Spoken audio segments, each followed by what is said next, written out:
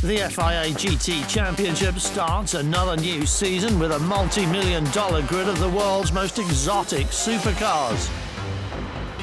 Maserati, Corvette, Aston Martin, Ferrari, Porsche and Lamborghini unleash 20,000 horsepower for two hours of hard racing.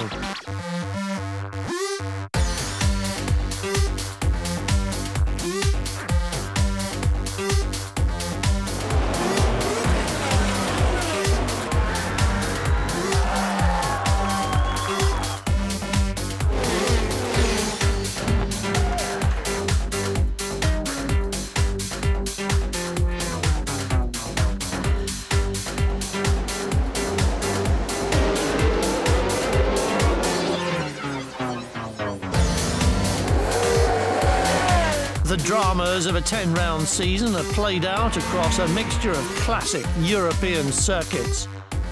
Monza, Silverstone, and Zolder, the 24 hours of Spa. And some brilliant new layouts at Oschersleben, Adria, and round the streets of Bucharest.